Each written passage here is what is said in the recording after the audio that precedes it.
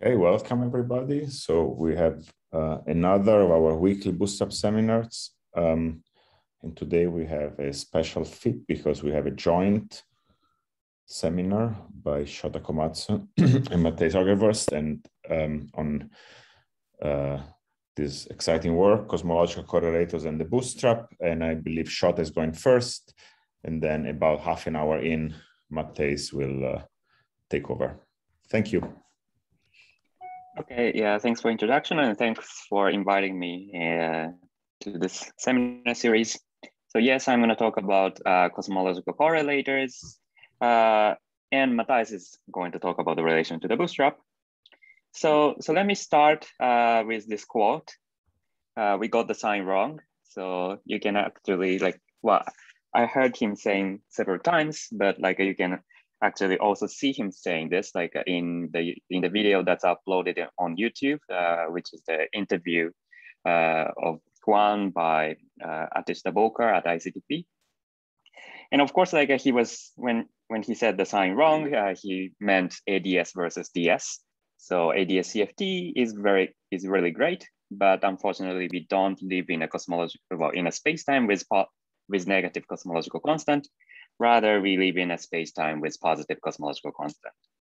And so that gives us enough reason to study DS. And, and indeed, like uh, there have been like a lot of works uh, about DS and cosmology uh, from theoretical point of view. And so this is just to show an oversimplified view on the subject. And on one end, uh, there are many people who are like uh, now analyzing the structure of the perturbation theory, uh, which is also partly motivated by recent developments of perturbation theory in ADS spacetime. And also there are like uh, more like uh, people who are more interested in like cosmology, uh, and those people are studying these perturbation also from EFT point of view. And here perturbation by perturbation, I meant really like choosing some Lagrangian, doing the perturbation theory.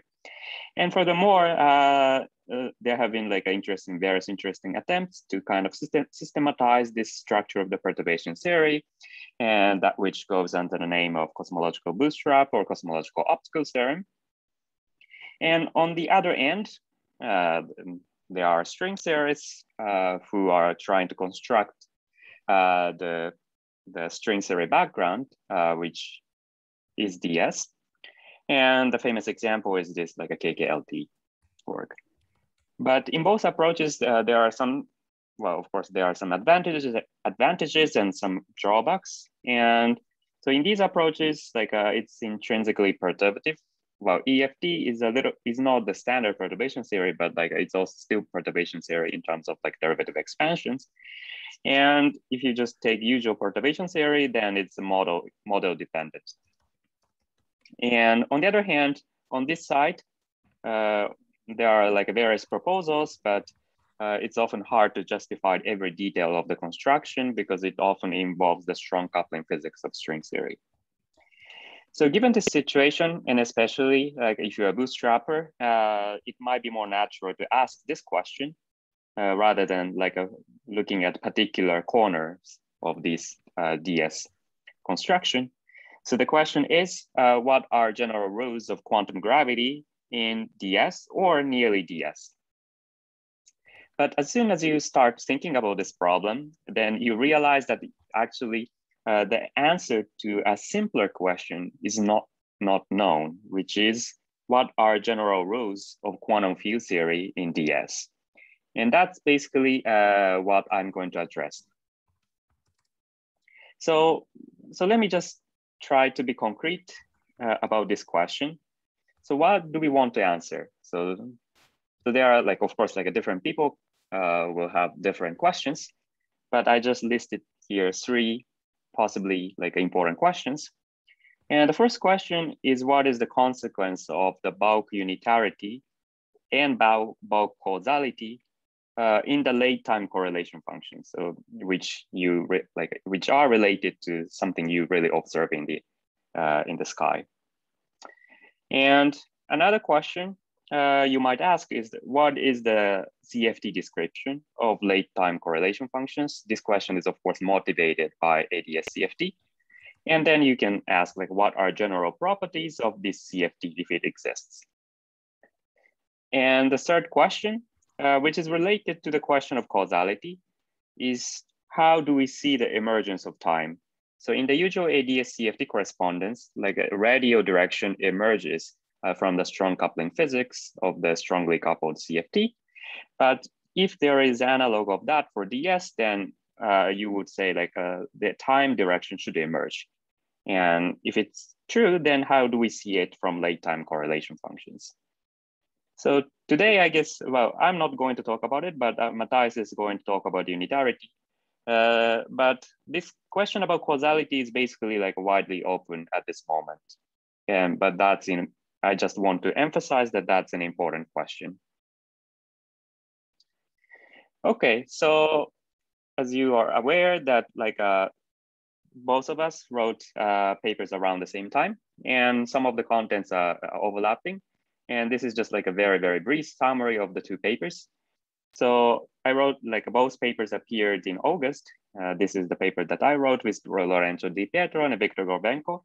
And this is the paper Matthijs wrote with uh, Joao uh, and uh, Kamran. And both paper discusses uh, bulk unitarity, but probably like a, uh, using a different, slightly different perspectives. And, and but we, our paper uh, didn't really discuss the bootstrap aspect, and that's discussed in this paper. Uh, on the other hand, uh, we discussed uh, some relation between like a DS perturbation theory and ADS Lagrangian. And using that relation, uh, we discussed some kind of analyticity property of the cosmological correlators. And the plan of the talk today is that I'm going to cover this part and Matthijs is going to cover the rest. Okay, so that's the plan. So, and let's start. So let's start with very, very basic, like a, a DS basics. So I just wanted to uh, make sure that everyone is on the same page. So this is the Penrose diagram of DS. And there is a coordinate uh, patch which covers the entire DS, which is called often called global D, global slicing or global DS. And typically it's parameterized in this way where omega d is the uh, metric of the d-dimensional sphere and tau is the global coordinate time. And if you know about ADS, then you should think of this as an analog of global ADS. And on the other hand, there are like, uh, well, I just, there are many more slicings, but I just chose two slicings that are important for me. And one slicing is called Poincare slicing, and which covers this part, roughly half of the ds. So here, this is the future infinity and this is a past infinity. And the metric in the Poincare slicing is given by this. And as you can see explicitly from this, uh, this is very similar to the metric of the Poincare ADS. So you should think of this as the analog of Poincare ADS. And finally, there is thing called static patch. Uh, so which, which is like uh, this part of the Penrose diagram. And I'm going to explain why this is so, but like you should roughly think of it as an analog of Rindler ADS. Okay. So, so now if you want to do computation in the spacetime, uh, you first need to choose a state and then do uh, some measurement in the infinite future. So that's what people normally call like a cosmological correlators. And that means that we first need to talk about the state, which state we are going to talk about. So the state we are going to talk about is a state which is invariant under the DS isometry. And you can define such a state even in interacting quantum field theory, and that's called like a Bunch-Davies vacuum. So in free field theory, there are, people also discuss like various other uh, DS invariant states, which are often called like alpha alpha states. But uh, as far as I know, like there is no like a natural way to define it in any interacting quantum field theory. So I'm now going to just talk about Bunch-Davies vacuum. And the reason why, why Bunch-Davies vacuum is nice is because it has a kind of geometric definition. So the idea is that you take half of the ds and then analytically continue it to a sphere. And then you just like do the perform the path integral on this sphere part, and that produces for you the Bunch-Davies vacuum. And So in this uh, analytic continuation, uh, this global ds metric is analytically continued to the metric on a sphere, and theta is the coordinate uh, which is which goes like this, which is along this direction. And and I should also mention that like uh, this sphere picture also gives us some intuition about static patch, because instead of analytically. Sorry, in your picture you have phi. What is right. phi? Sorry. Yes, that's what I'm going to talk about. So, uh, so so theta is the uh, what I was talking about, which is directly related to the D global ds time. But then uh, you can also try to uh, like analytically continue one of the uh, angle direction, which is uh, periodic in this sphere coordinate. And then like if you analytically continue this phi coordinate, so this is just like a rotation like a, around this point, and then that becomes uh, the time for the static patch. And this basically gives you the reason why the stat static patch is analog of the Rindler observable, uh, sorry, Rindler ADS. And so basically like a, this static patch time is coming from the analytic continuation of something periodic.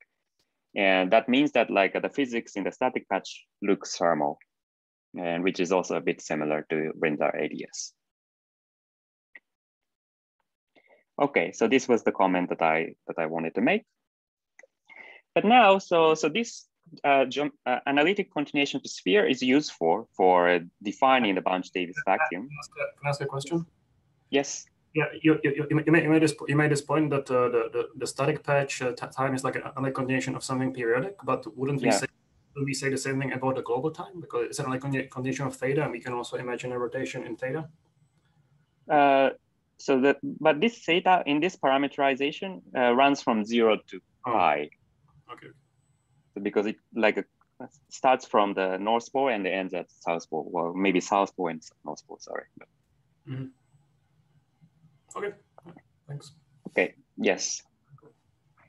Right, so, but uh, but then like, a, uh, so in this picture, I talked about global and uh, static patch, but there is one important uh, yet another uh, patch, which is Poincare patch.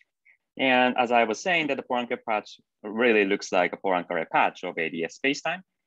And indeed, uh, you take this metric where eta is the uh, Poincare patch time direction, and then do this analytic continuation, like where z is the plus minus i eta, then you get a metric of ADS, but with minus sign because of like one eta squared. So this basically says that if you take the ds and then do analytic continuation, you get minus ADS. But uh, given this relation, uh, it's very tempting uh, to conjecture that this eta equals zero, which is late time. So by the way, I didn't emphasize that, emphasize, but eta runs from minus infinity to zero. So eta equals zero, late time, uh, it should be analog of z equals zero, which is the boundary of ADS. So it's natural kind of to think that there should be some late time CFT, so or CFT describing the late time correlators. And of course, like in the absence of gravity, maybe it might be CT rather than CFT. But this conclusion is a little bit too fast because there is an important difference between ADS and DS. So let me just mention what that is. So, so that is, well, actually, so, so let's first review what the ADS computation was. So suppose we put some field theory, like a scalar field theory phi, uh, in the interior of ADS. Then when you do the computation, basically you fix the boundary value of phi. Well, it's a little bit more complicated because you need to look at some fall of z, uh, phi as a function of z, but roughly speaking, uh, you fix the boundary value of phi to be some j, and then you compute the pa uh, partition function of this ADS. And the ADS CFT basically tells you that that is produced, that produces for you the CFT partition function with the source term J. So more explicitly, it's given by this. And where O is the operator due to this phi, scalar field phi. So in, mm-hmm, in some sense, this is a boundary value problem. You fix the boundary and then you compute a partition function. But that's not what we do in DS, because in DS, first you just prepare a state at the, uh, using like Bunch-Davies vacuum, and then let it evolve until it reaches the late time surface, and then you just compute observables. And most importantly, at late time surface, we never fix the boundary condition. So the field is still fluctuating at late time surface. In other words, uh, this is uh, more like an initial value problem. And of course, like, uh, well, if you're just talking about classical field theory or classical mechanics, the boundary value problem and initial value problem might look more as the same, except for the uh, signature. But in quantum mechanics, it's very different. So why is it different? So it's different because in the case uh, for the, the initial value problem, we need to use what's called in in contour. And so by, by that, I mean like you first prepare some uh, state and then like a let it time evolve. And then you also prepare uh, ket and then let the time evolve and evaluate uh, some observable here. So this is different from like a computing S matrix because in the comp computation S matrix, if you express the in, terms of path integral, you just prepare some in state and then do the path integral along the time and then like uh, project it to the some out state that you want to compute. And so this is why it's called in, in formalism. And so as you can see from this, like we never really fix uh, the field configuration at late time. And the only way to fix the boundary condition at eta equals zero is to kind of like cut this uh, uh, path integral contour and insert kind of complete set of field configuration like this. And then uh, each part, you can think of it as kind of analog of some S matrix like computation. So this is basically just the same as like using the wave function. So, so you first compute the wave function and then evaluate the operator and integrate over the arguments of the wave function.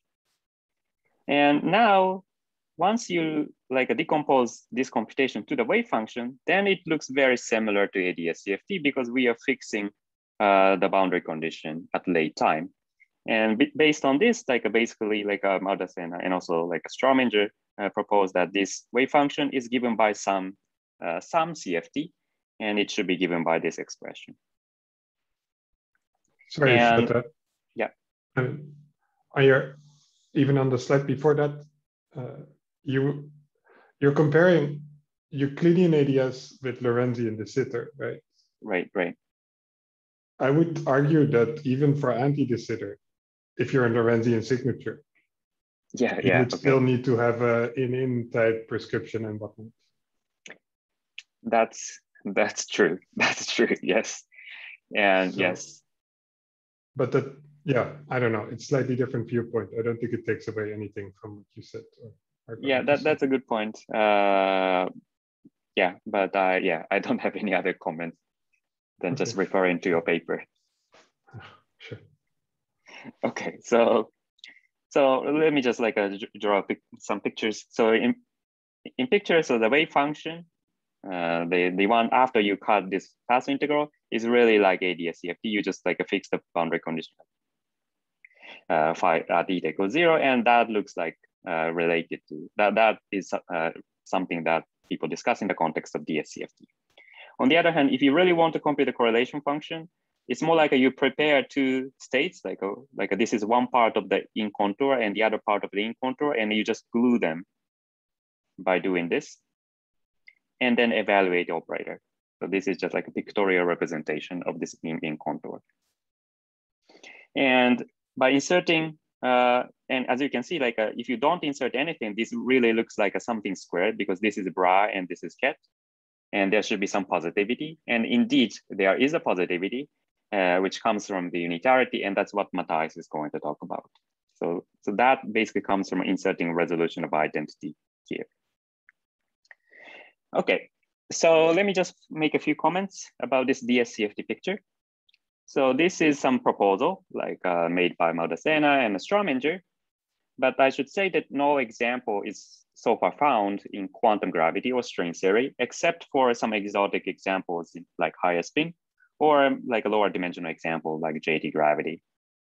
However, I should also mention that if you take any quantum field theory instead of quantum gravity in DS and compute a wave function, then this wave function does indeed behave like CFT partition function. Like uh, the structure that you get is consistent with the CFT partition function.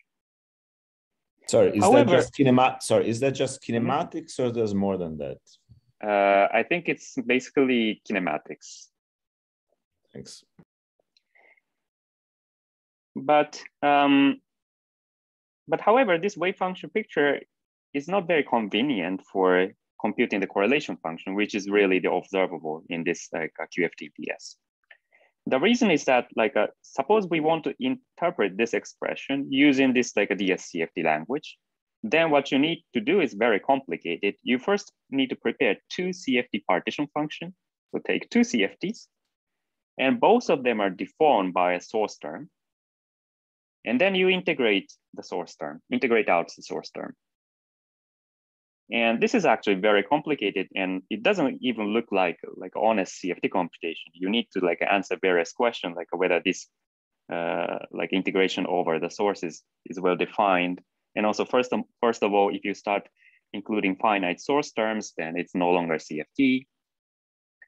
However, uh, if you are just talking about QFT in DS, the final answer of the correlation function should respect conformal symmetry.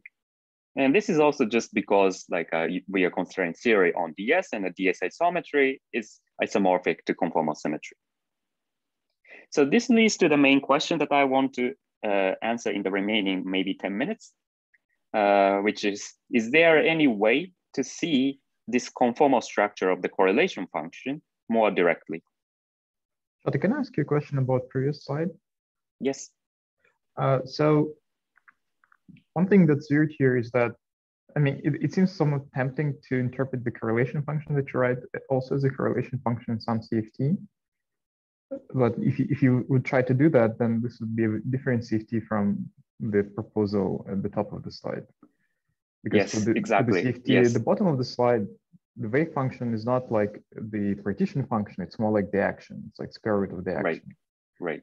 So exactly, yeah is there a reason why there are like two CFTs? Like, isn't it more natural to expect that there's just one CFT and this wave function is just its uh, action or something of this sort? Okay, so I think, right. I think in, if you just consider QFT in DS, it, it's indeed more natural to talk about CFT that directly describe uh, the correlation function and that's basically what I well that's also related. To. So you're basically saying that the old DSCFT story was just a dead end, and we should just give up. Just no, no. Well, well uh, in if you consider QFT in DS, like uh, the old DSCFT may not, may not be the natural thing. Like it might be more natural yeah, to just okay. construct a CFT. But if you consider quantum gravity in DS, then of course, like a uh, this one is more problematic because I don't know how to define the correlation function of local operator non-perturbatively in quantum gravity. Whereas uh, th uh, there is a better chance to define this wave function uh, in quantum gravity. But of course, then like all the questions, just like uh, all the difficulties just came to this performing this path integral because in the presence of uh, quantum gra in the presence of gravity, this integral actually involves the integral over the metric, fluctuating metric at the late time surface. So I would say like uh, in the DSCFT, in, in our current understanding, uh, it seems more natural. Well, it seems easier to talk about wave function because we don't know how to directly talk about this. Okay, thanks. Uh, another comment is that the thing on the bottom might be conformal, but it's not a CFT, it has gravity, right? Right. Right. Like if you include the gravity, right? Well, we're integ you're integrating over the you're integrating over the metric in that integral, right? Yes, yes, yes, exactly. Yeah, I completely agree. Yes. It, it must be like uh, some gravity actually. It's not CFT. It shouldn't be CFT when you consider quantum gravity. Okay, so this is a question and my answer is that so, so in this talk, I'm only going to talk about QFT in ADS.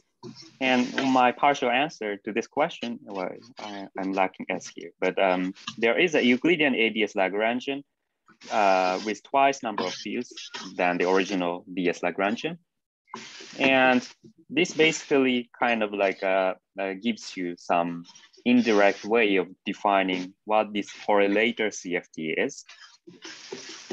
Because the Euclidean ADS Lagrangian has a natural interpretation of CFT in terms of CFT. And furthermore, it compactly summarizes various findings in the literature, in particular, uh, recent nice papers by Sleight and Taronna, uh, in which they uh, discovered the relation between Euclidean ADS Witten diagrams and uh, DS diagrams. And our finding just like uh, promotes it to the Lag promotes their findings to the Lagrangian level. Okay, so let's briefly discuss how it goes. So, so I should mention that this Euclidean ADS Lagrangian, we derive it, I'm going to derive it only at the level of perturbation theory. So the perturbation, it maps one perturbation theory to one, another perturbation theory. So in order to discuss that, let me just remind you what the structure of the perturbation theory. So again, we need to use this in-in contour. So because we have in-in contour, uh, we basically have like a, a, two copies of quantum field theory, like a, whether so there are fields that, that lives on here or a field that lives on here. And for example, that uh, if you do the perturbation theory using this formalism, then uh, you have Feynman diagrams, but now decorated by L and R, L or R, depending on the fields lives on the left contour or the right contour. And for example, if you consider phi cube theory, like a, you, you get diagram like this, but you can also change this R to L. And obviously, the building blocks of all these diagrams are propagators. So there are like a left-left propagator and left-right propagator and right-left propagator and right-right propagator. And this left-left propagator is basically given by the time-ordered path integral because like uh, the order of the order of path integral is the same as order of time. Uh, so it's given by like a time order two-point function of the free theory, whereas the right-right uh, propagator is given by anti-time ordered because time goes backwards here. And on the other hand, in the case of left-right, then we always need to uh, put right on the left side of this two-point function.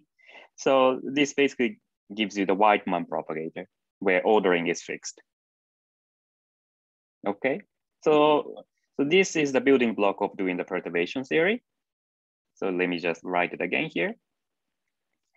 And as we all know, uh, the difference between time ordered and anti-time ordered or different orderings are like a just difference of the i epsilon prescription.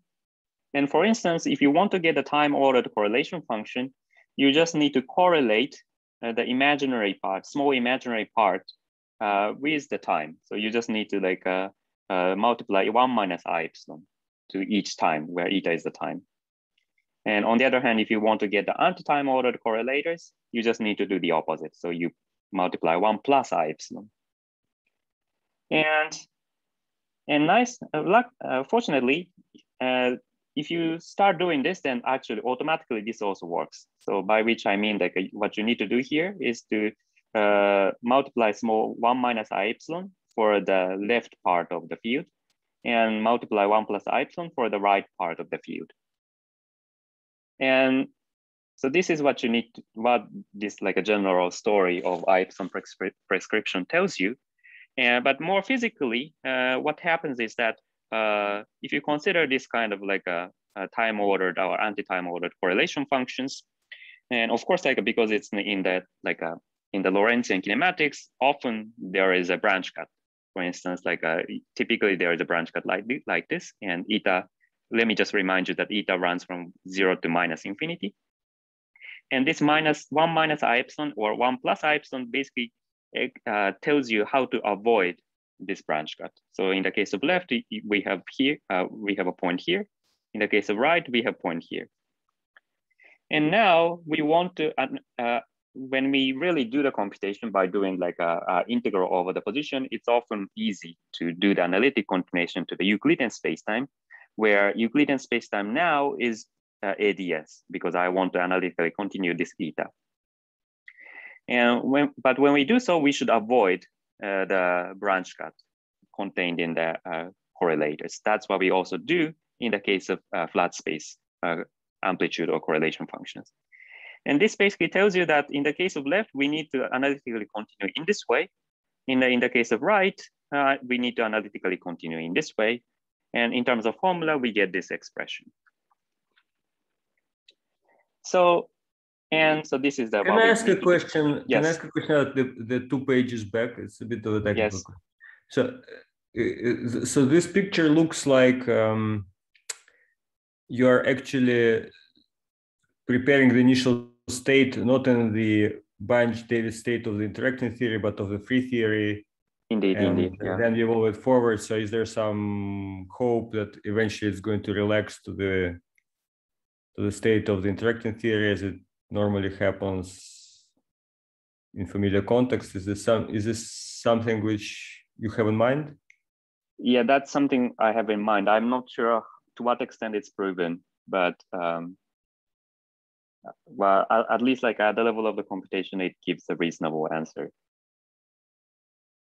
But do you see that you really, in order to restore uh, Sitter Mhm. invariance in this setup, you really have to go to small eta? Right. Yeah, yeah, yeah, yeah. The um yeah, I think that's true. Um Okay, yeah, I think that's true. okay, thanks.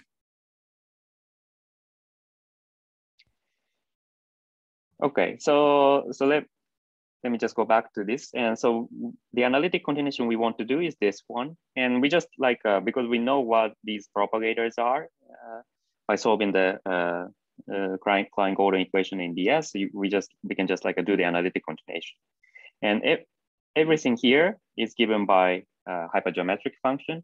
And using the identity of the hypergeometric function, you can see that after the analytic continuation, left, left, le- right, right, and left, right separately gives you this expression.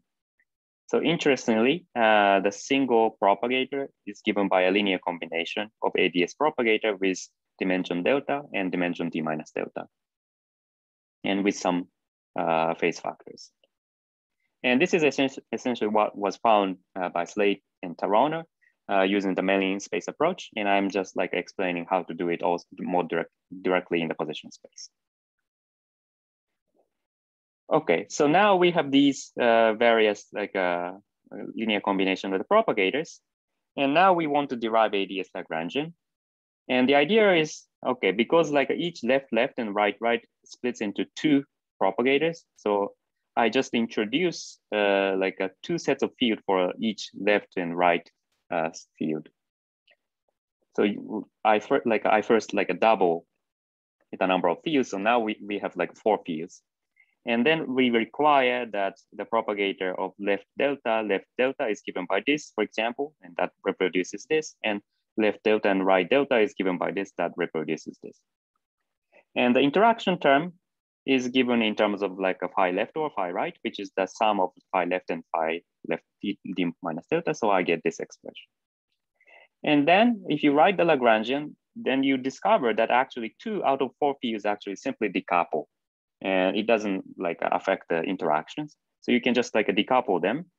And the remaining ones are some linear combination of some uh, left delta and right delta and left d minus delta and right d minus delta. And then what you need to do is to like call this linear combination phi plus and phi minus, and then uh, rewrite Lagrangian in terms of this remaining, these remaining fields. So this is straightforward, Um, but mhm, Sorry, uh, I had a question about your previous slide. yes. Um, isn't this linear combination of propagators also a propagator? Like, is it not just a difference in, in boundary conditions for a single propagator? The Maybe linear normalization. Because they have the same mass. Right, right, right. Yeah, so they have same dimension. So, so, so- so yes, the linear combination basically gives you the same property after, yeah, after normalization. So I would also say that, yeah, it can just be a slightly weirdly normalized propagator plus some, Right, with right, some weird boundary conditions. right, right. And then you can maybe directly introduce a single field for, for that weird propagator Yeah. with weird boundary conditions. Right. And then maybe Right. you don't need to have to introduce four fields out of which then to decouple. Yeah, I guess what you're saying that maybe there is a more direct way of getting these two, but yeah. Yeah. And yeah, and I agree. Like uh, indeed, like a yeah, indeed, in the end, like a two out of four is, is like a doesn't play and do, don't play any role. Okay. All right. thanks. And if you just write, if you do that procedure, you get this Lagrangian. And so this one uh, obeys the boundary condition, which corresponds to dimension delta. And this phi minus has a boundary condition, which co- corresponds to d minus delta. But now, importantly, the interaction term is a bit complicated linear combination because the interaction terms was originally given by simple expression, phi left delta and phi left d minus delta. But now the surviving fields are some weird linear combination. So I need to rewrite uh, the simple expression in terms of surviving fields, and then you get this expression. So this is basically the ADS Lagrangian that you get. And once you get this Lagrangian, you can just forget about DS and then just compute everything using this ADS Lagrangian. And this ADS Lagrangian reproduces an extends observations um, made in uh, Sleight and Taronna for tree level exchange to arbitrary diagrams. Okay, so let me just give you a brief comments and how it can be used for. Uh, one way it can be used for is that now we have ADS Lagrangian. So one can expect the late time four point function has similar structure as boundary four point function in the ADS, at least at the level of the perturbation theory.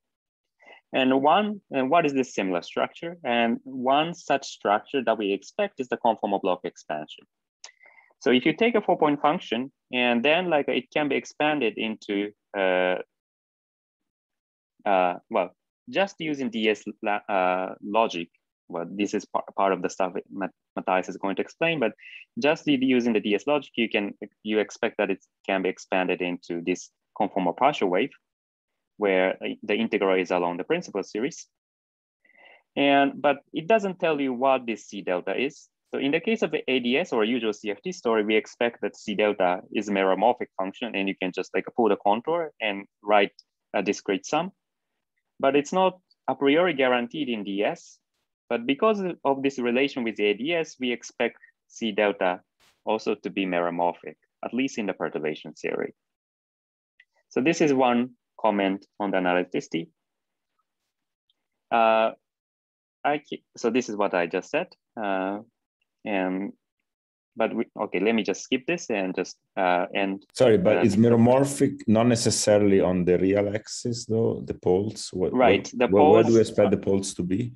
the poles are not necessarily real axis because the reason is because if you look at the mass range, then for example, this, this mass range is like a natural mass range from the DS point of view, uh, but it's not necessarily so in ADS point of view. So what we expect is that like uh, the poles should come in pair, complex conjugate pair.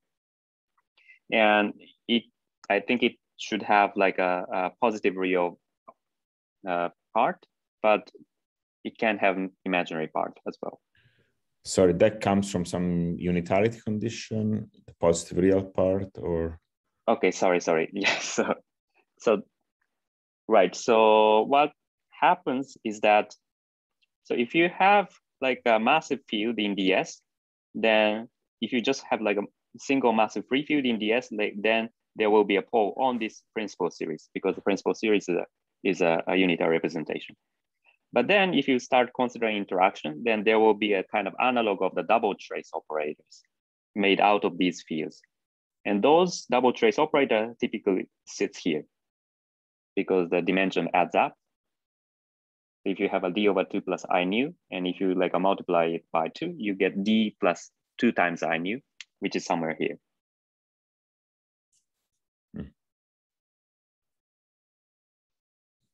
Okay, so let me just summarize and mention the future direction and pass it to Matthijs. So uh, what I said is that there are two, what I emphasize is that there are two different notions in DS, wave function, which is relevant for DSCFT, and also correlation function. And that's what I talked about. And you can derive ADS Lagrangian for correlation functions in DS. And obviously important question is to include gravity. And in ADS, including gravity was simple. Like you just needed to include T mu nu in the, in the CFT correlators. But in this, especially in this correlation function story, it's, it's quite different because as uh, Tom was pointing out, uh, this, uh, this some theory that this directly described correlation function might be conformal, but it won't be a conformal field theory. It must include gravity. And one another uh, slightly orthogonal direction, uh, which might be interesting, is that uh, so I we like uh, derived uh, we explained how to kind of convert the computation of like correlation function in DS, which is originally defined using in-in formalism, uh, to ADS computation, which is more like a, a, boundary value problem. So, so then you can ask, is there any flat space analog? So the flat, in the flat space, the analog of the wave function in which you specify the boundary condition at infinity is the S matrix, whereas the analog of the DS correlator is more like an inclusive observable or energy-energy correlator, which are also computed by the in-in formalism. So there might be a formalism which recasts the computation of these observables uh, into something that looks like S matrix. Okay, so let me end here and sorry for going a bit over time. And Thank now, very much. Mm -hmm. So we'll pass it to Matthijs. Yeah, let's pass it to Matthijs. Sorry, can I make a quick comment? So yeah. you mentioned that gravity is a future direction, and you, you had a slide about how you can't include gravity because we don't know what it means non-perturbatively. But then your discussion was all perturbative. We do know how to include gravity perturbatively. So um, would you say that at least at the perturbative level, gravity is is straightforward? What do you what do, what yeah. do you imagine sort of the future directions that need to be solved for? Okay, okay, yes. At the at the perturbative level, I think there are things we can do, but I think like uh, not every detail is explained. I think so. Could you comment on what you think is has not been explained so far? Okay, okay. So, for example, uh, using this in-in formalism, uh, so the so gravity, gravity has some effect even in at the perturbative level. Suppose we consider like a graviton exchange in this in-in formalism using this like uh, this kind of pictorial explanation. So take one interaction vertex from the left side of the contour and, the, and take another one from the right side of contour. Then this like a graviton actually propagates like through this late time surface, which basically like which basically means that there is some gravity wave passing through this late time surface which kind of changes the definition of the uh, length here. So already here, like a, you, I guess you need some gravitational dressing to really make like have a well-defined observable. And I just wanted to like uh, work. I just wanted to say that it's nice to work out the details. So are you saying the details of diffeomorphism invariant observables haven't been fully worked out? Well, of Is course, in cosmology, of course, in cosmology, people did compute uh, like uh, what you get, what what you can observe, but in the cosmological setup, like many things come at once. Like uh, there is a breaking of the S invariance, and also there is like a uh, reheating surface and things like that. So I was just saying that uh, there might be more like a minimal way of including the effect of graviton, uh, which is like uh, more natural from say bootstrap point of view. Or like a for, from formal point of view. And you're not at all concerned by the fact that people will tell you that de Sitter space doesn't make sense non-perturbatively because it's uh, metastable or whatnot? Well okay. I would say like uh in quantum gravity yeah understanding this perturbation theory in a simple setup and clarifying detailed might help in doing the cosmological computation maybe.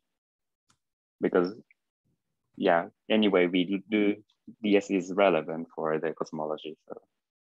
Of course like we also need to include various other effects. Okay thank you. So let's move on to Matthijs.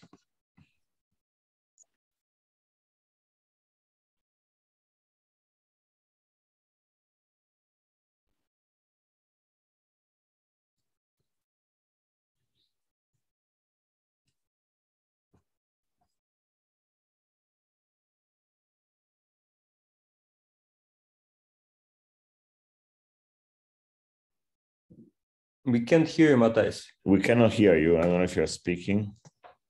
Oh, sorry. Yeah, I think let me uh, try to share this way. Um,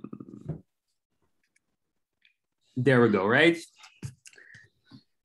Okay, yeah. thanks, thanks everyone for um, for the invitation and thanks Shota for um, for the first part of this talk. Uh, so this uh, I will talk about uh, our paper that uh, that appeared also in August that was uh, in collaboration with uh, Penedones and with um, with Kamran, who already spoke uh, here in the Bootstrap collaboration a few months ago about ADS.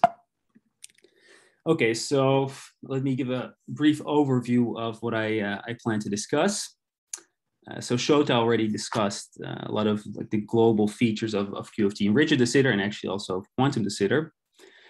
Um, and I will again talk about correlation functions in DS, but from the bootstrap point of view.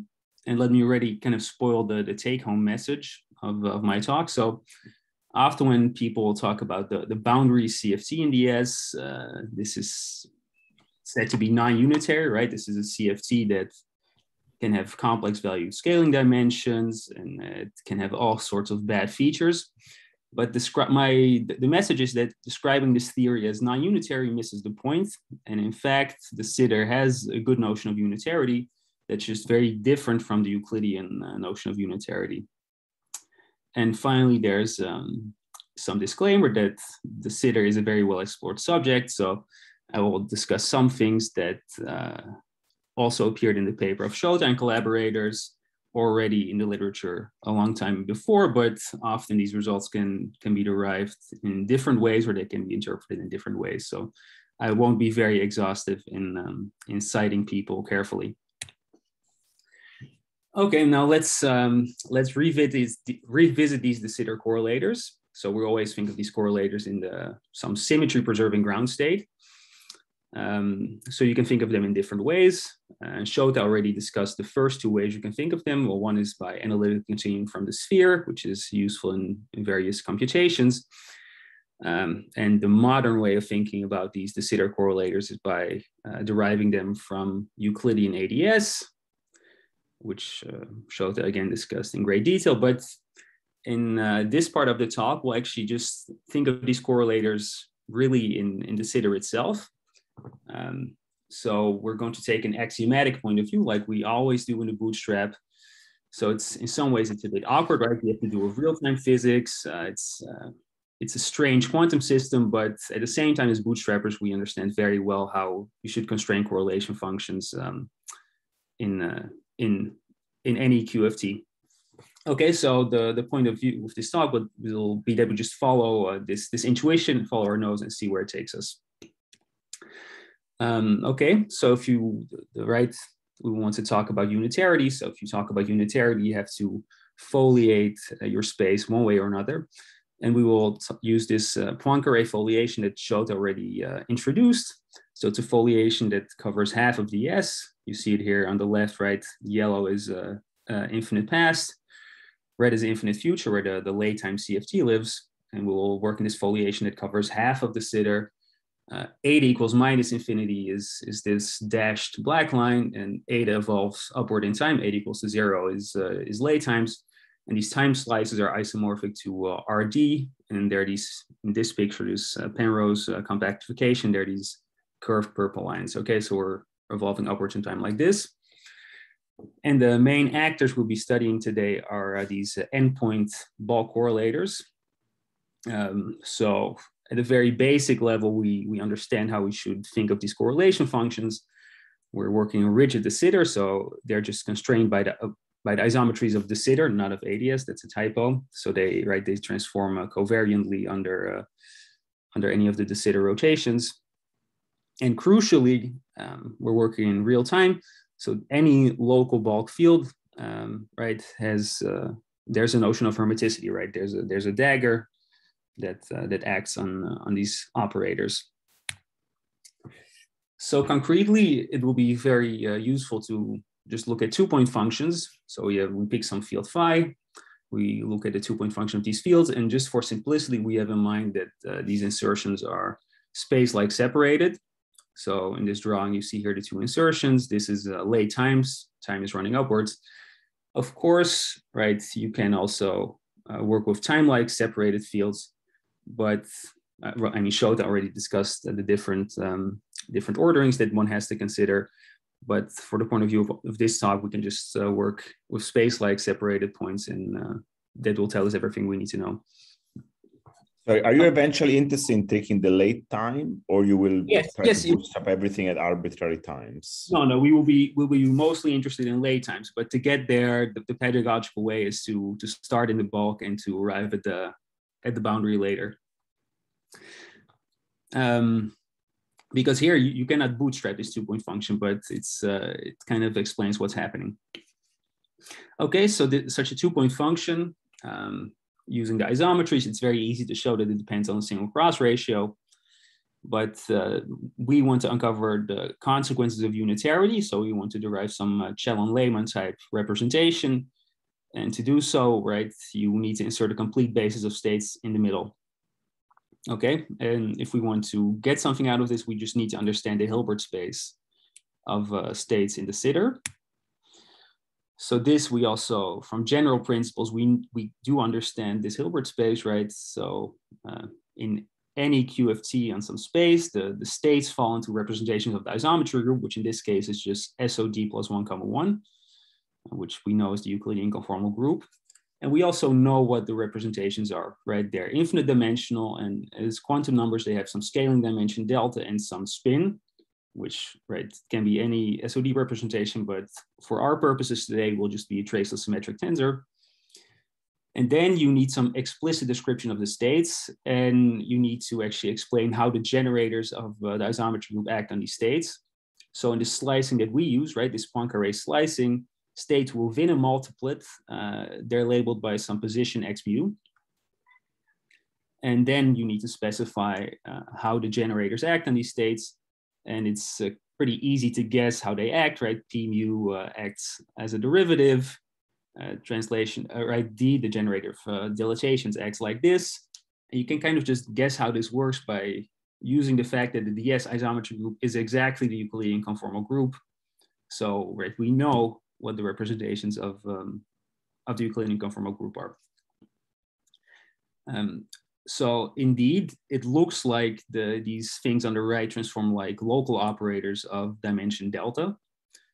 But I want to stress that this is a mathematical curiosity. So indeed, these states, they behave like local operators, but it turns out that there are no operators that actually have these quantum numbers in the theory. So there's no state operator map, unlike say in, uh, in ADS or boundary CF, in normal CFT. Okay. So the representations from the previous slide there, right, they, they work, but in a unitary theory, you need to only consider unitary irreducible representations. Of course, mathematicians know very well what, uh, what these representations are. So they, they restrict the values that the scaling dimension delta can take. And in particular, delta can be of the form d over 2 plus i nu, or there's some range of real values of delta that's allowed as well depending on uh, the spin of, uh, of the state in question. And these two families are known as principal or complementary series.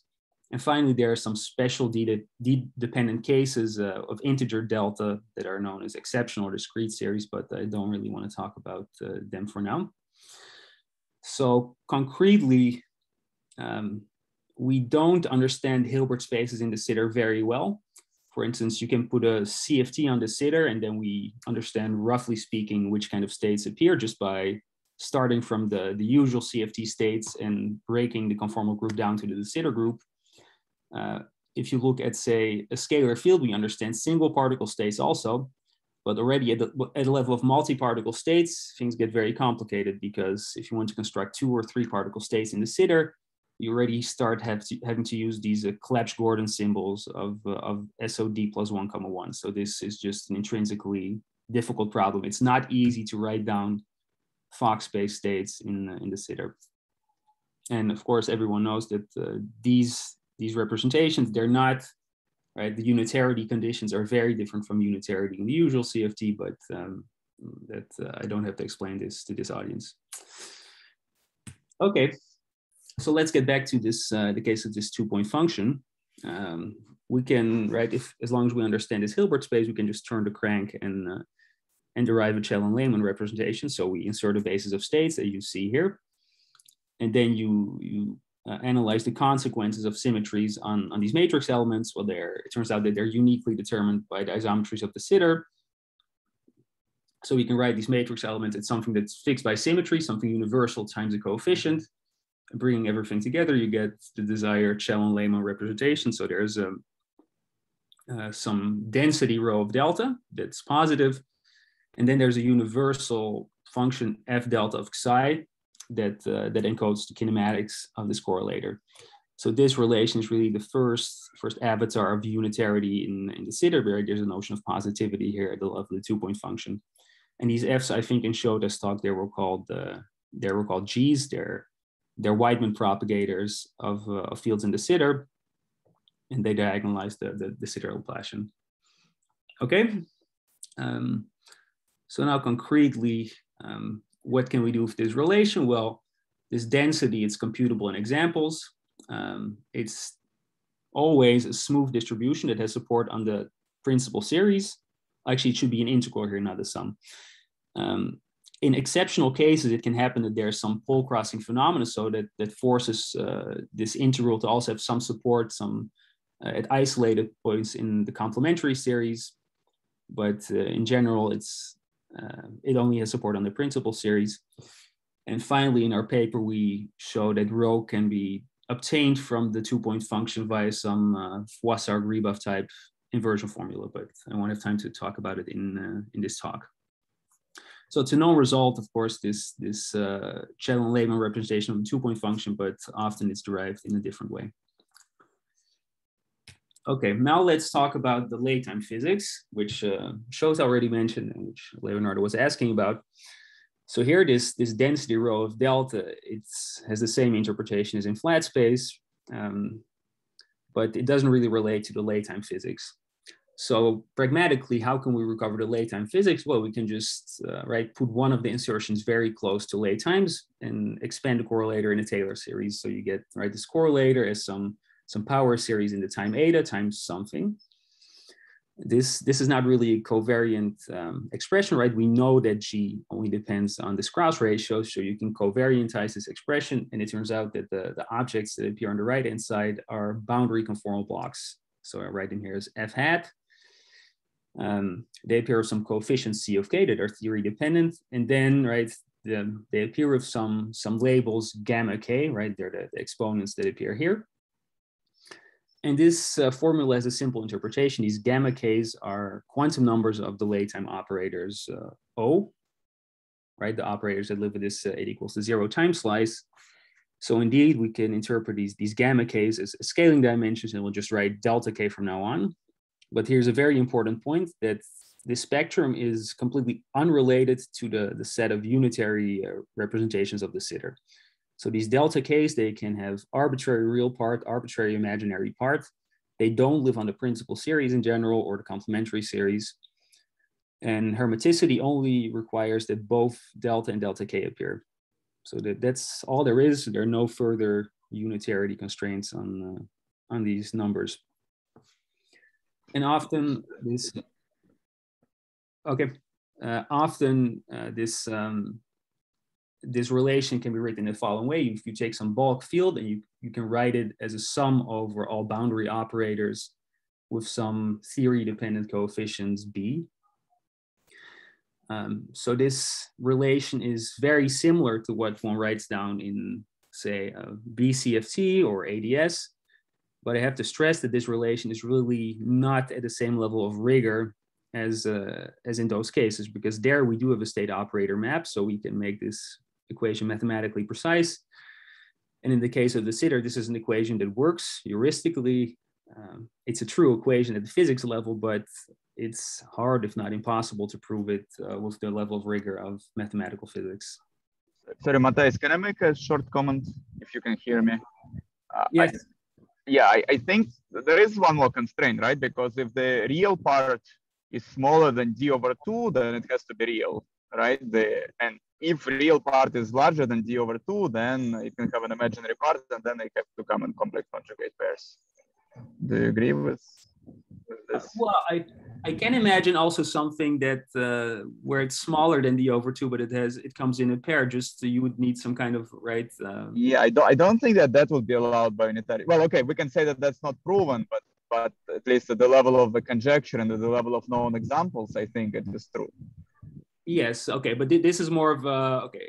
It's maybe, maybe again, heuristically, this is true, but it's not, it doesn't follow from this, this logic uh, as far as I know. Does not obvious obviously follow from this logic. Yeah, I agree.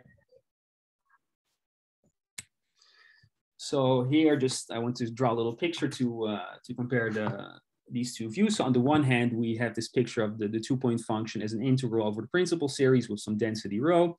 On the other hand, we have uh, the two-point function as a sum over boundary conformal blocks with some other coefficients. And the relation between the two is given by uh, the usual contour pulling tricks. So here on the left side, you see the, the path of integration. I've drawn also some hypothetical support on the, for the complementary series, but it's probably not there. Um, so to, to see the relation between the two sides, you, right, you can assume that this density rho is meromorphic away from the principal series, it decays sufficiently fast at infinity. And then you can write, write down some split representation for this ds propagator. You close the contour and you, right, you pick up the, the poles, which are precisely at these, um, these delta k's, right, which can be either real or they can come in uh, conjugate pairs, as Shota already mentioned.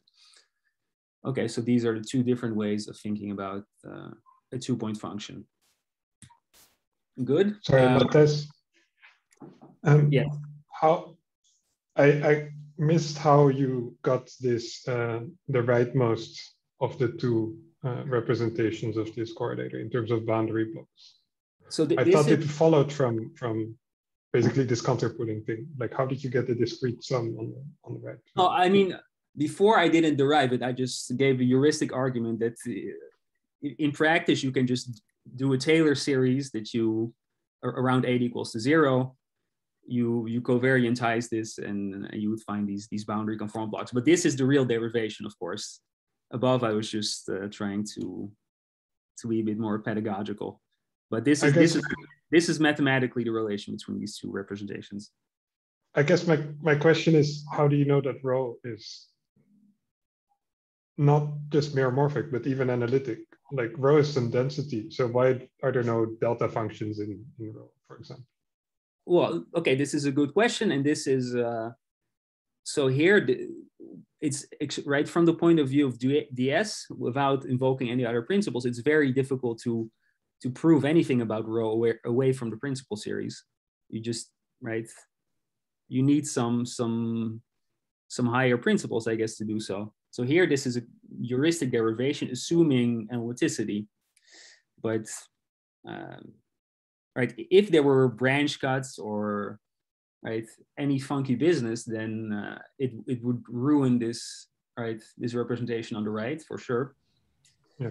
So is it uh, is it true that like in all the examples where you've looked at, where you can actually compute its density, there are no delta functions on a principal series? It's just uh, it's just a meromorphic thing.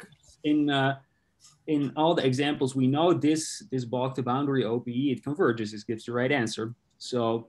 Um, um, I'm not. I'm not sure if uh, if having delta function on the principal series would be in contradiction with that. Oh no! In, in, on the principal series, in the case okay, in the case of the just the the free two point function, there are two delta functions in the principal series. But uh, I thought that Balt was asking about something more. Right? That's that's a very special case. In all other known examples, rho is really a smooth distribution on the principal series.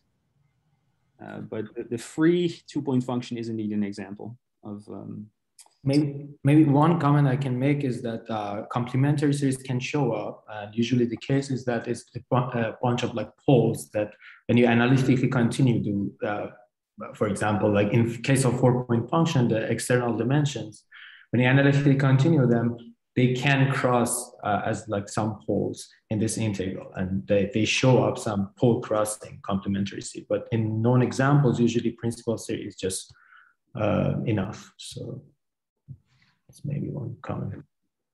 Mm -hmm. But yeah, it's yeah, so so maybe Shota was mentioning a few things about how, how perhaps to understand this this analyticity from the the ADS point of view, but um, yeah. Okay, thanks. Okay, um, so the logic, right? So above we just spelled out some logic uh, for the two-point function, but it, uh, this this logic applies to any correlation function in the S, right? So we can look at uh, operate uh, at correlation function of bulk operators, uh, correlation function of late time operators, or even both. And um, so indeed, if we start to look at uh, correlation function of late time operators, so it's important to realize that hermiticity, right? It it uh, it again it guarantees that these operators appear in pairs. If there's an operator of dimension delta, then there's a conjugate operator O dagger of dimension delta star and only real operators are, are self-conjugate. So if we want to get some mileage out of this logic, then we can look at the, the four-point function of four scalar operators, as we always do in the bootstrap. At this point, right, since these operators all live on the eta equals to zero time slice, they're by construction space like separated. So this is a, this is a Wightman function and the kinematics are purely Euclidean and uh, we right the kinematics of such a four point function are well understood and we we know very well that uh, such a four point function depends on two cross ratios say z and z bar okay so now let's uh, say see what we can say about unitarity of such four point functions in principle we can really revisit the same argument that we did for the two point functions so we insert a complete basis of states in the middle um, and right, we, we rewrite this in some covariant way. So this uh, makes these shadow integrals appear that have uh, appeared in the bootstrap literature before. And these shadow integrals give precisely uh, these conformal partial waves that are a linear combination of conformal blocks and their shadow counterpart and that are defined, that are single valued on uh, full complex plane. And finally, there's some, some theory dependent coefficient that appears, right, that's not fixed by symmetry, some, some uh, spectral density I of delta. In this case, there's not only an integral over the principal series, but there's also sum over spins that appears. So these formulas are right, in the, the case of Euclidean CFT, we, we know these formulas, but often they're derived uh, using the like kind of opposite logic. Normally you think of Euclidean four point function as a sum over conformal blocks. And then we say, look, these, these uh, partial waves are complete basis of functions. So we can actually also write uh, a CFT four point function in this way. And here actually we, the logic is the opposite way. This is the definition of the four point function of late time operators in de Sitter.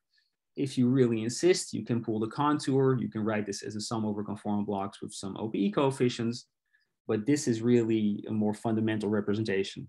And in particular, uh, this representation makes the unitarity manifest in the sense that if the pairs say O1 and O2 are conjugate to the pairs O3 and uh, to the pair O3 and O4, then this is a manifestly positive quantity. So positivity is manifest for this representation, but if we pull the contour, write the thing as a sum over OPE coefficients, then unitarity loses its power. The OPE coefficients are generally complex. Okay. Um, there are some more things that can be said about such a four-point function. Of course, since it's a Wightman function, it's right. It obeys crossing symmetry, which is exactly the same as in usual CFT.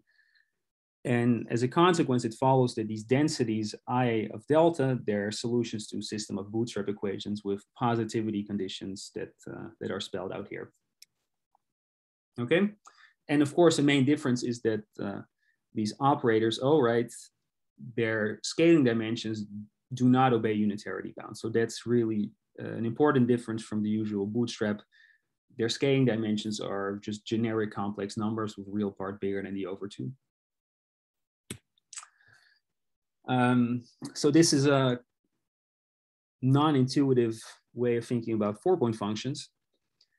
So let's think of a few examples. The simplest one is a free theory, and I think Shota already evoked this. So if we have um, a massive boson phi, then from the point of view of the boundary CFT, this is a tensor product of two GFFs with a scaling dimension d over 2 plus or minus i mu. So on the complex plane, you draw them here. And the first thing that uh, you can try to do is compute this density I for the four point function O, O dagger, O dagger, O, which is right reflection positive. And uh, we did this exercise, but it's already highly non-trivial, right? It's, it's a complicated computation. Uh, I will maybe come back to this uh, a bit later. Then you can look at uh, weak coupling. Um, indeed, right now we understand that right? De Sitter physics is closely related to ADS. So, right, we this is just right. The the or, the free theory is just a product of GFFs and ADS, and we also understand how you should uh, compute corrections to this. Right, uh, you have contact diagrams and exchange diagrams in ADS. So whenever you know the spectral representation of such a diagram, you can see the concept, right, you can check that uh, unitarity is satisfied at least for some choices of the couplings, right? So you can prove some, you can put some um, perturbative unitarity bounds on, on couplings, uh, at least at tree level in, in de Sitter. So this is something that has not really been done in the literature. We look at a single diagram, but it's a source of multiple examples if you want to put in the work. Um, you could think of RG flows. I'm a little confused by this discussion. So there's no rigorous unitarity bound. We can only get some some perturbative. No, no. I, am I'm, I'm saying that. Look, say you. Of course, unitarity is, is encoded by positivity of um, of the spectral density. The point is that okay, we, we know very little examples of um, of such four point functions in de Sitter. So the simplest things you can do if you want to go beyond the free theory is to look at, say, contact diagrams in DS, exchange diagrams in DS.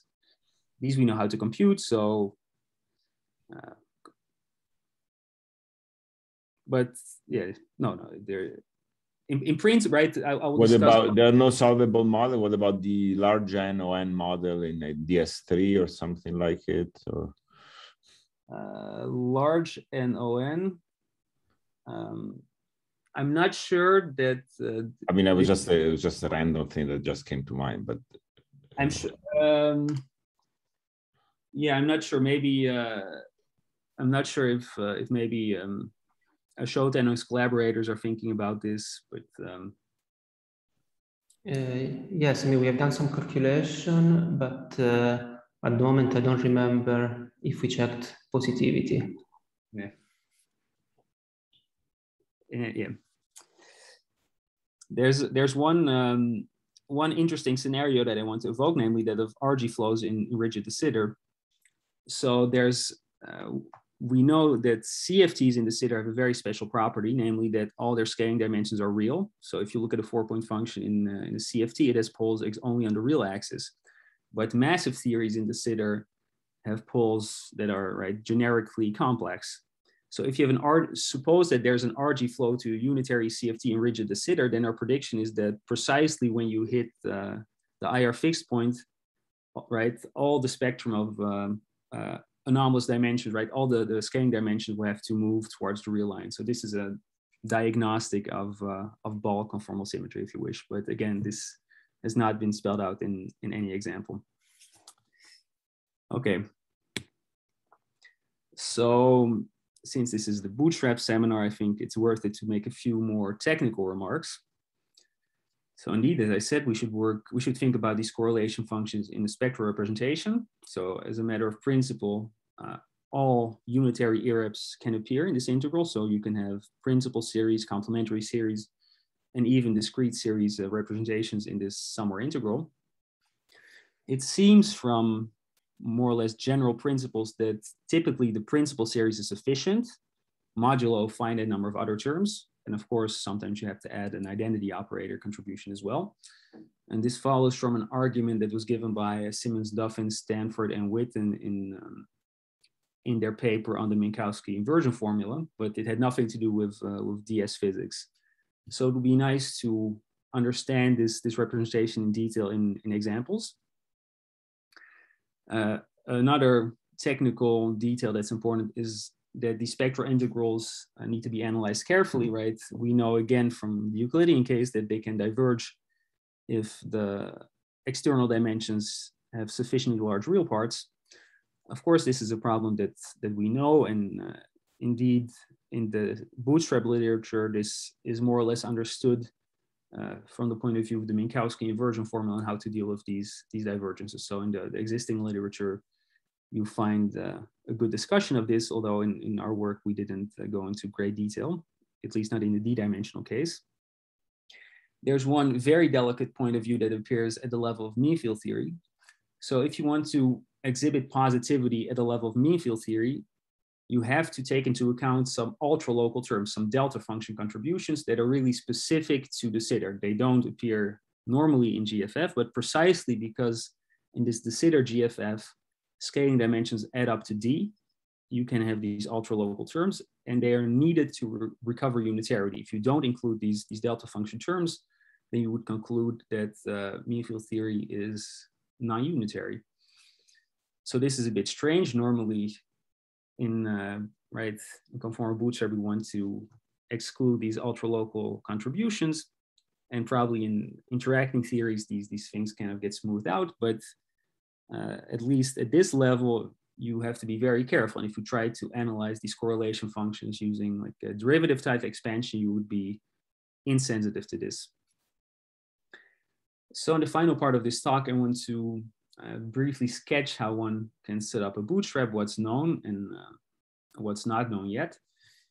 So uh, as usual, we have some arsenal of tricks up our sleeves. We can impose gaps, right? We can make some assumptions about the support of these integrals or uh, the values that these spectral densities can take. We can maybe assume some functional forms, but um, right, it's important to have some phenomenological input of what are the interesting questions. But uh, for now, there are already a lot of technical difficulties. So let's, right, before we go into the, the real deep physics questions, let's just show that as a matter of principle, um, these bootstrap equations can be used for something productive.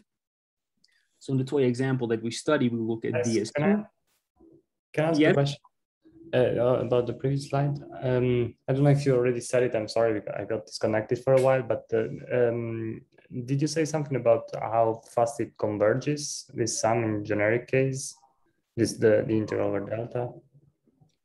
Well, the, these integrals so it, the, the rate of convergence depends on the external dimension. So if you make the external dimensions very large and you have some crossing, that, right, it, it depends. Okay, if you have some general function on the left-hand side, then the convergence, right, it depends on the behavior of, um, of this function near z equals to one and z equals to infinity.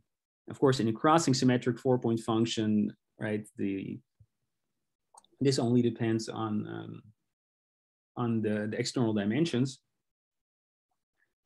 at least if there's an identity uh, identity block present.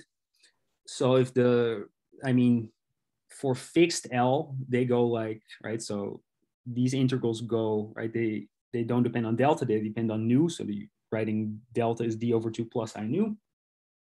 And then they go like a power of, of nu, nu to, to the delta, basically uh, minus something. The, the precise value depends on, I guess, on the number of space-time dimensions.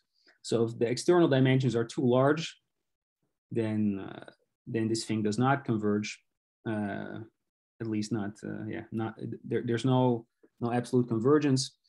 Um, yeah, but is this really the same issue? I mean, I, I, see that is this the same issue that appears in mean-field theory? So is this this local terms in mean-field theory some uh, no no the, the, the, the, the local well i mean the, the two the fact that these appear that's it's related but uh, right the the local terms right they, they also come from a rapidly growing growing spectral density right it, it's an explicit in the case of mean field theory this is an explicitly known spectral density um, and it, it's very similar actually to to the other terms so they're right in the mean field theory there are different terms that appear, right? They're just normal local terms. There's this ultra local term, but they, they go with the same power of nu. And so if the scaling dimension are smaller, then uh, the external scaling dimension, so there is a range in which you can make this exponentially convergent, like a four, four point function in CFT style or, or not. So yeah, but, but even, even, even in normal Euclidean CFT, this is exactly the same problem. Right, these, uh, No, but in the normal Euclidean CFT, we run into this problem because we kind of say, okay, we try to expand this function in some basis, but the function just doesn't belong to the space. Uh, well, here you said, well, let's just take this function, and insert the full basis of intermediate states. So it looked like all the steps that you performed were pretty safe. So it seems to be harder to to interpret to live with this divergence. So I don't know, you, you probably have some way of living with it, but there. So which steps that you like, the Källén-Lehmann, usually Källén-Lehmann representation in quantum field theory doesn't diverge usually. Yes, no, normally those uh, precise. So at the end of the day, this um, these representations have to reproduce the, the correct four point function. Um, of course, there, there, are the usual caveats of uh, right having to subtract like identity contributions, but that's uh, that's familiar. Um, well, the question is whether if you take the vacuum and act with two of these operators, you get a normalizable state. Yeah, this this is I mean, we don't know anything about this operator, so how do we know yeah. whether it gives an Yeah, so this this indeed, uh, uh, Piotr, is um, is a good problem in the sense that, right? Okay, you would think that, right? As I said, the Hilbert space of the theory, properly speaking, it's right. It's a set of uh, states that support on the principal series, and those states of delta function normalization. If you just take the the Bunch-Davies vacuum, you insert one of those late time operators, right? It's not a state that that has support on this principal series. Right? It doesn't have the right quantum numbers. So at this point, you have to you have to interpret these these states, right, as something like uh, metastable states. They're not really part of the Hilbert space of the theory, but they're not unrelated to it either. Um, but this is precisely why it's difficult to prove structural problems about about this thing, right? If if they were right, if you could act with any number of these these late time operators uh, on the vacuum state, and you could express it in terms of uh, Hilbert space states, yeah, then then you'd be in good shape. But um, yeah, this is a complication of de Sitter physics that we we I mean we understand the problem, but uh, making this precise at the level of uh, of mathematical physics is, is very complicated. So but I, I think problem is a bit similar to, at least technically, to just the fact that momentum, uh, well, Fourier transform of a, a propagator of you know just two local fields in flat space can be divergent, right? And this is again because if you insert a local operator, it produces uh, states with arbitrary energy. Uh, so in principle, I think I know Slava, do you see anything wrong with Fourier transform? yes, but not but not the spectral density. Spectral density. no, but but this is measure. But you can we can think of Fourier transform. I mean, in momentum space. Of let's take the Wightman propagator in flat space, right? And, and insert identity in momentum space. Uh, in between the two points, right? So that will produce a Fourier transform of a Wightman propagator uh, which we can also think as a you know decomposition into the Hilbert space of momentum eigenstate, uh, and uh, of eigenstates of four momentum. Uh, okay, and that thing will be it will be a divergent integral, right? But I'm not just well, about, why are you talking about Fourier transform? Let's just talk about Cherny-Lehman with a positive spectral measure. Those things don't don't diverge, as far as I know. The even Fourier transform Those... example is misleading Victor, because uh, why? Well, because you, you can take Fourier transform and sure, like let's say you just take vacuum, you take Fourier transform of local field and you act in the vacuum. Sure, this is not a normalizable state, but this is like uh, almost a normalizable state in sense it's delta function normalizable. So what Matthijs mm -hmm. was saying is that the situation here is completely different. You take a Bunch-Davies vacuum and you act on it with some you can act with some uh, field, like wait time field with some quantum number, so that these quantum numbers are not going to be even like a delta normalizable state inside the principal series. It's just going to be somewhere off. For example, the operator like with momentum p, if it's mirrored with some small, smooth test functions in, in, in, p, you'll get a normalizable state. Here, you, there is no way to do this. Like no matter what you do, you're not going to change the kind of representation in which the state lives. You can smear it whatever you want. You're not going to move it to, to, towards the principal series. So it's kind of very far outside of the uh, Hilbert space. Yeah, well, there are two there are two problems. I think a little bit overlapping. Well, I okay, I, I don't know if we should go into that discussion right now, but uh, a short comment is that I think uh, you can also take. I know Matthijs. Uh, uh, there is also a problem in principle if you consider light fields on complementary series as internal ones, right? This integral, if I remember correctly, is not guaranteed to converge, and then uh, this issue with not having unitary representations goes away, right? Yeah, but there you have to ask uh, whether it will converge if you smear these fields in the. In yeah, the yeah, yeah, yeah, exactly, exactly. And then if you smear them a little bit, then I think it will converge. And that's why I'm saying it's a similar problem to my uh, flat space Fourier transform example. Yeah, but uh, this uh, problem is completely understood. It's just because you're doing something that's guaranteed to be a stupid thing to do in some sense, and you're getting an infinite answer. And if you do the correct thing, then you get a finite answer. like the yeah, problem yeah, with so, the other fields is that like no matter what you do, it doesn't seem that. Well, the, the problem with the other fields the problem with other fields is that they are okay it's, it's not understood of course but the intuition is that there's something similar to you know resonances in uh, some, you know, S matrix language. So, okay, you can think of a resonance as some sort of non-normalizable, you know, badly non-normalizable state in your Hilbert space, right? And do some formal manipulations with it. But of course, if you want to do some, you know, Hilbert state meaningful representation uh, manipulations, you need to think of your resonance as decomposed into states that actually belong to Hilbert space. And that's probably what you should do here as well. Instead of inserting these operators, uh, you know, exactly these complex values, you should insert some, uh, you know, the projections on the principal series in some way against them. Find some wave function of this resonance that actually belongs to the Hilbert space. But yes, I mean, that, that's, uh, it's a different subtle. Let anyway, me give, I, shut up. Let me give a very radical example where maybe it's, you can understand what's good and what's bad. Okay, let's just try to compute the two-point function of late time operators, OO, by inserting a resolution of the identity if you insert principal series states, you get zero, right? There, these these operators don't have support on the principal series, so that would allow you to compute that, right? These operators just don't have any um, uh, any two-point function, even though we know very well what the two-point function uh, is, right? In, uh, in CFT. And indeed, if you just assign the right two-point functions, then you, you can reproduce, for instance, the right, you can reproduce the bulk two-point function using this bulk to boundary OPE.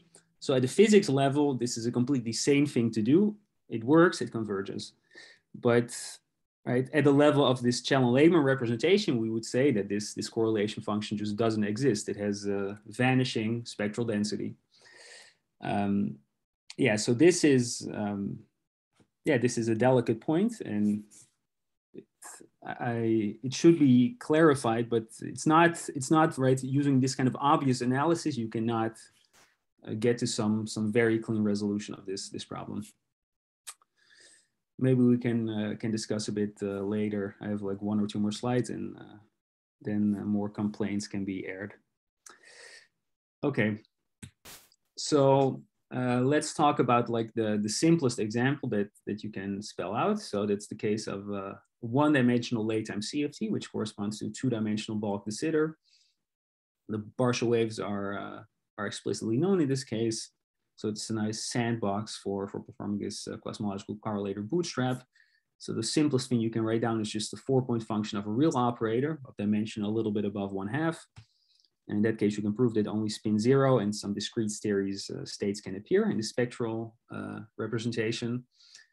And the trick we use is to apply a kind of functional that softens divergences. So you integrate uh, the four point function against something uh, z to the gamma one minus z to the sigma.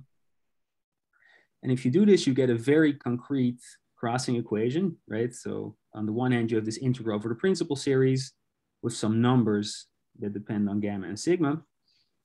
And here you get a second contribution of uh, discrete series terms that are specific to one dimension. Again, here there's some theory dependent numbers i tilde. Here there's some universal objects uh, f tilde again. And delta here is the contribution of the identity block. Um, and this is now something that you can study using the usual conformal bootstrap logic for instance, this, uh, these things uh, for sufficiently large nu, nu bigger than eight, I believe, right? So, so we pick some, some value of delta. I think delta is uh, 0.6 more or less.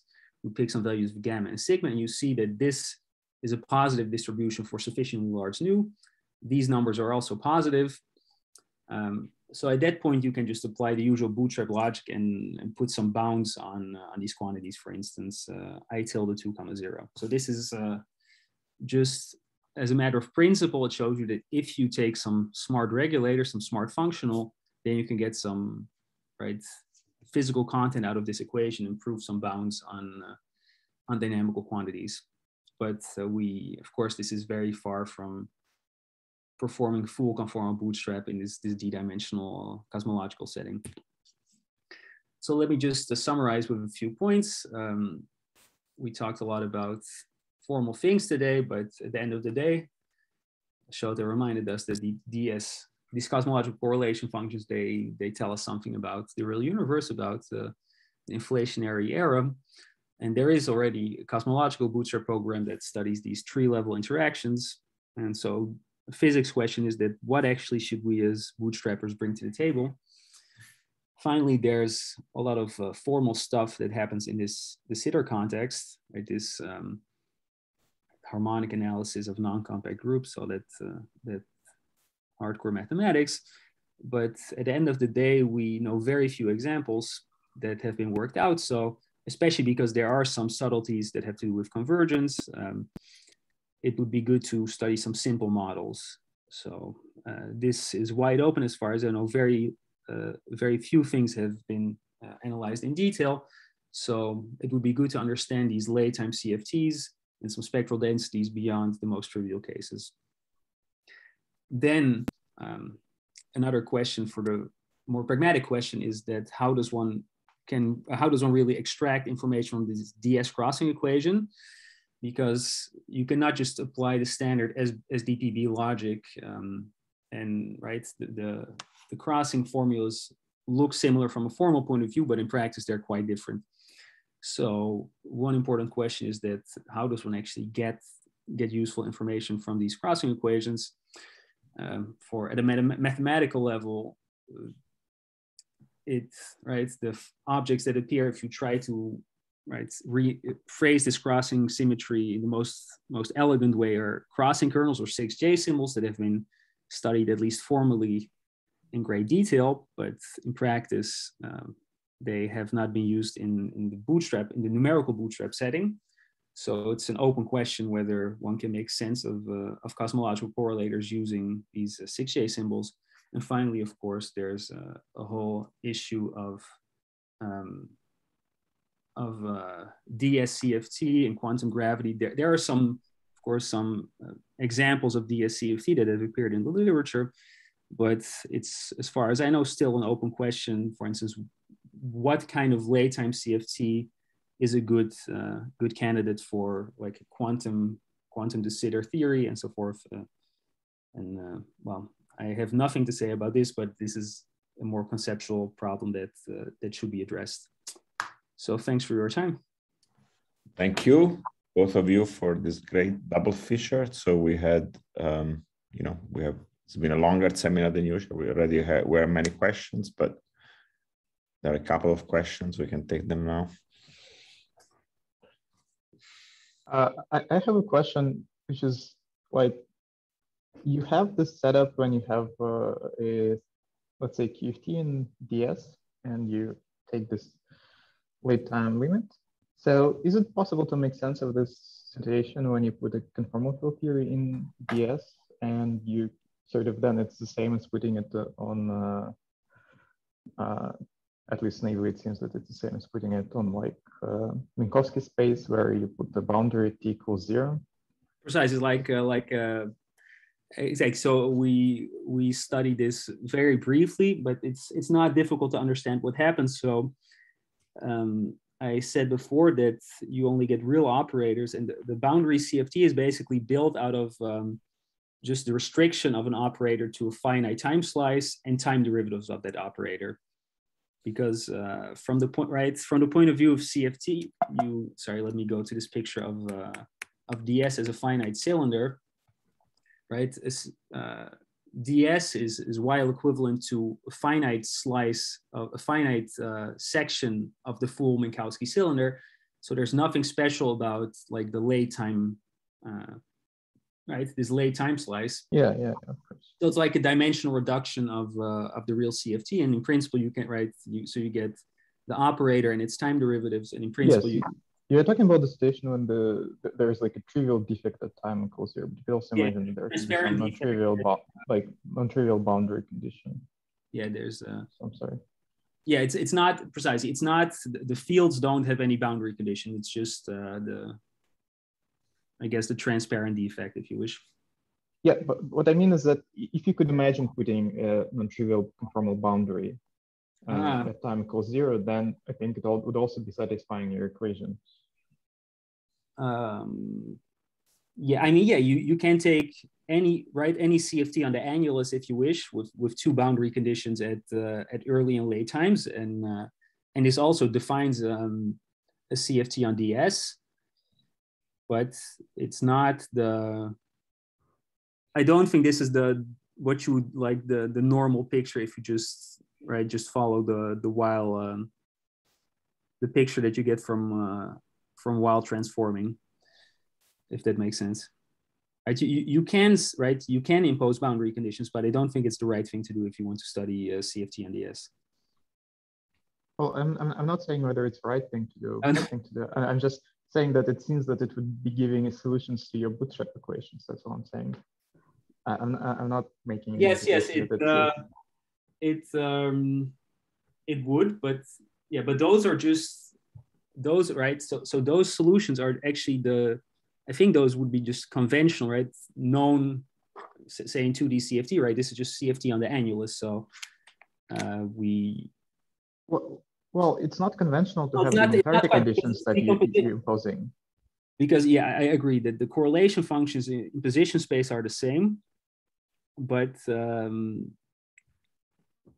yeah it's it's a strange strange way to package a known known cft yeah I think um, but i'm not not it's about these two. Uh, if I may, I think it's about these two things that Shota talks about. Where on the one hand, if you use this in-in formalism and you don't fix anything on the boundary, then for uh, CFT in de Sitter, that in-in formalism would would yield um, uh, the trivial boundary at tau equals zero or eta equals zero. Whereas if you fix something at eta equals zero, so you fix some boundary conditions, then probably you get BCFT, uh, general BCFTs. yes Well, my Yeah. point is that what is interesting that is if some construction like this works, then it like brings like if your uh, if some construction like this works, and if your unitarity conditions are correct uh, in this construction, then it would give like positivity conditions about the CFTs that we not consider for at least seems so. So sorry, but you, you, you mean that uh, if we take some, some boundary condition for CFT uh, in bulk and then we calculate this like partial wave coefficient, these i's that we have that have positivity condition, we just calculate them and check if it's actually the solution of the bootstrap equation. That's what you're saying. Well, sorry guys, I I hate to say this, but the number of participants is dropping very rapidly. Uh, I think everybody's a little bit exhausted. Uh, so I suggest that this discussion continues in private. Does anything else?